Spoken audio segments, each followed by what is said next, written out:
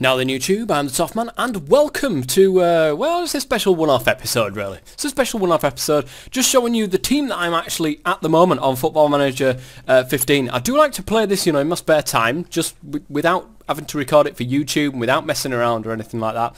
I do like to record it every now and then, uh, just to show you guys the team that I've got at the moment. And I have to say, guys, I'm enjoying this one. Even though I got relegated last season, I'm actually enjoying this one. Um, I am FC Viitorul, which are in the uh, Romanian Second League. Right, and I've just got relegated from the League One down to a special group or something like that, where only the top team gets promoted, or something like that. Anyway, um, I think we're on course for doing really, really well. I think. I think so, this season. However, guys, I just want to point out why I wanted to be FC Viitorul in the first place. If I actually go to my home screen, this is my home screen. Uh, I don't know where it is that I need to look at my stuff then. I don't know. I can't remember. Either which way, guys, their youth facilities are top quality and their training facilities are excellent as well. And this is in a Romanian league, so I thought to myself, you know what? I'm going to give this a crack. Now, in my first season, guys, last season, I, I got relegated, and it was by three points, okay, that I got relegated at the end of the season. Was it by three points or two points? It was one of the two. And the bottom six teams, I shit you not, the bottom six teams in the Premier League for the, the uh, you know, the Romanian Premier League, they get relegated. It's madness. It's absolute madness. So many teams get relegated. It's, it's just madness.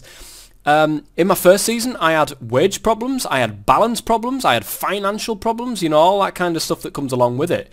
But I had an excellent youth team, and I had an excellent youth facilities, and I had great, you know, training facilities. I thought, I might take a hit on the first season, but I can build up and build up and build up from there, get the people in from my youth squads, build them up, sell them on for money, make money, get my balance sorted, and then, you know, it'll all just happen, you know it'll all just happen. And I very narrowly you know, got relegated just by two points. I very nearly saved them, um, but it wasn't to be. And I dropped down into this Romanian Second League Group 1, okay, this right here. Um, and at the moment, three games in, three wins, only one goal scored against me, so I'm happy about that. Um, I'm enjoying it. I'm really, really enjoying the challenge of it. And look at this for the finances, guys oh, there's nothing better than see it rise.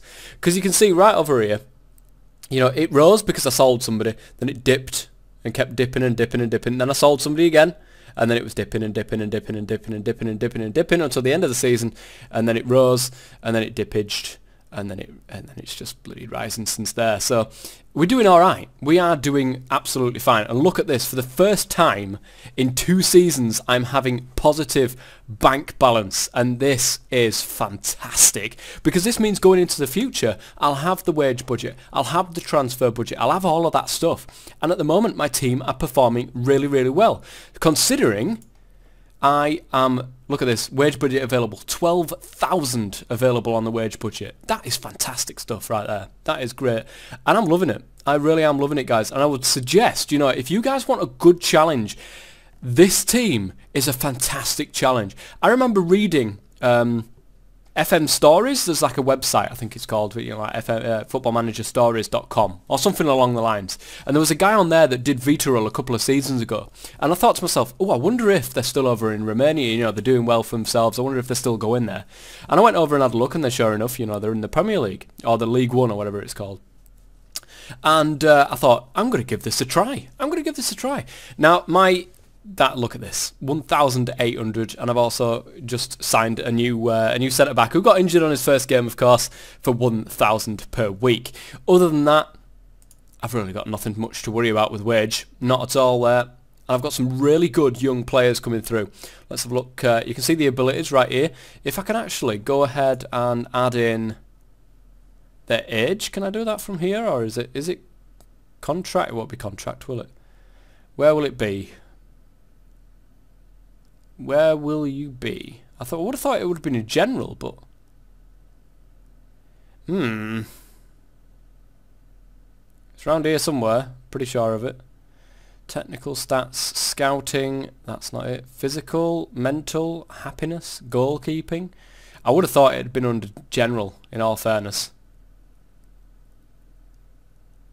Contract, auto one year expiry, blah blah blah. I don't think so. Well, that is interesting. I would have thought you'd be able to get the age up there, but uh, apparently not. Anyway, um, this guy is an older guy. You know, he's 25. I say older. You know, he's 25, but he's a decent goalkeeper. You know, for this uh, for this level of football. My defense is by far the worst thing that I've got. I tried to, you know, sort it out, but I've got a couple of people coming back from injury, and um, I've like this guy here and uh, he's injured now as well. He's a fantastic player he is. It will be worth some pennies is always, always improving, but unfortunately is a bit prone to uh, to injuries. This guy who is um, about 15, isn't 16, so not too bad. You know, he will, he, will get, he'll improve. He'll improve a lot with our training facilities as well. He'll do really well from uh, for us. And of course, look at this for potential. It's fantastic. And I'm, I'm loving this. I am absolutely loving this at the moment. I uh, loaned in this guy because I didn't have a defensive left mid. Uh, uh, a left defender at all. So I, I, I, loaned in Florentin Pham, and he's done a really good job for me so far. Uh, Boitos is pretty pants, in all fairness, but he's 20 years old, you know, we've got to give him some time. And these people are worth something, you know, I mean, this guy's not, but these people are worth something. 195k. And when you do sell on players, I can easily replace people. I Like, say, for example, this guy here, Putanyu, I don't know how you pronounce that. It's three and a half stars. Okay, you know, it's brilliant you know, in comparison to my team. Um, he's worth 195. I can get, because it's 20, 21 years old, I can get loads more for that. I'm replacing 500 quid's worth of wages with maybe someone from my under 19s who, look at this, uh, Bogdan Tiru is actually in my first team. But um, I've got people in here who are quali- who can sl uh, sl slip into my squad and I can replace them with 20 quid per week wage and I've just made a load of profit. And I would suggest, you know, guys, give it a try. Give Viitorul a try. And if you are going to give Viitorul a try and you're doing something for YouTube maybe, give me a shout because I would definitely love to watch that. You know, somebody that actually knows what they're doing on Football Manager.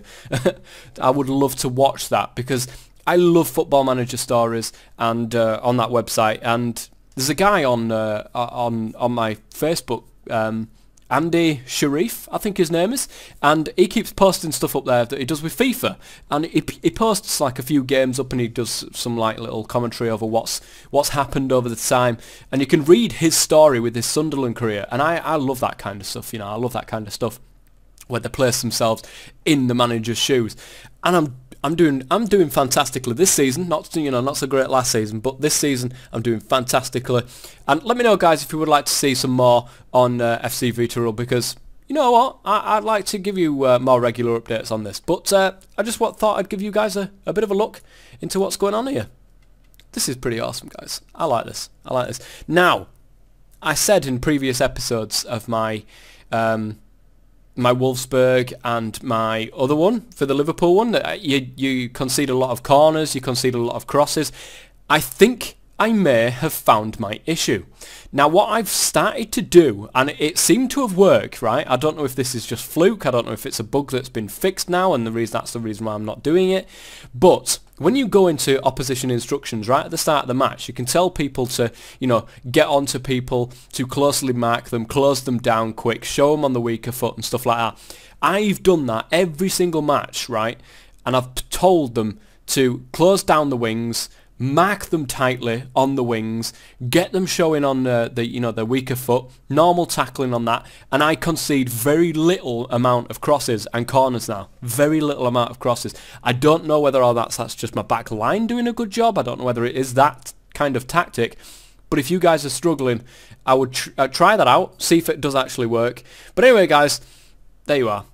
FC Viitorul. I do hope you're going to enjoy it. Until next time, guys, the tough man as always. Stay safe.